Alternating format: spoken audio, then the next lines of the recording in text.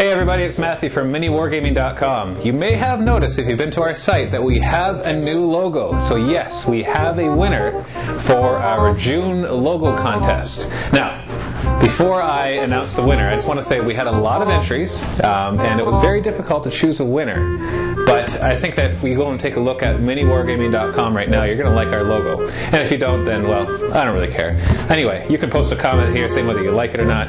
Doesn't really matter. We've chosen the winner, and now we're sticking with it. So now, what is in the mysterious prize box? Well, before I show you that, I want you to know who the winner was, and then we'll announce the prizes because it'll all make sense as we go on. Okay, so the winner of the local contest in this box, well, not the box, but the contents, is drumroll, Mike the Necron guy.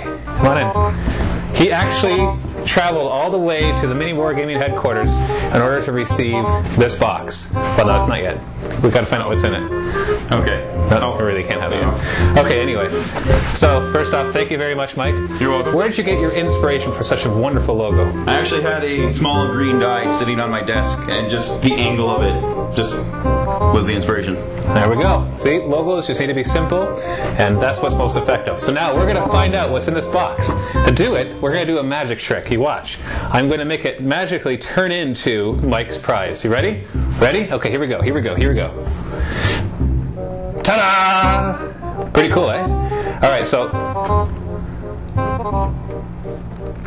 hold on. I got to get Mike to come back. Here we go. Ta-da! So here's here. Let's try this again. Ha! Ha! Ha!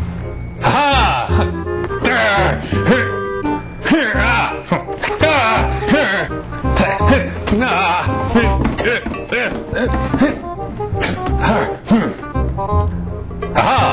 What?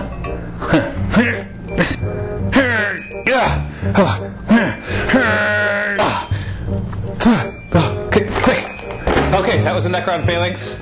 Uh, pretty cool prize. That's two more monoliths for him.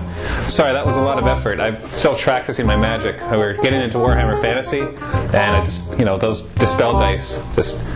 Anyway, so thank you very much, Mike, for the new logo. Go check out miniwargaming.com and store.miniwargaming.com and miniwargaming.com slash forum and miniwargaming.com slash blog, and you'll see the logo everywhere. Yes, you will. And there's even a cool little icon now, you know, like the cool favicons. We got one of those. So when you bookmark our site, which you should, you'll see it in the bookmarks. So anyways, thank you very much for all you who submitted to the logo contest. Congratulations, Mike.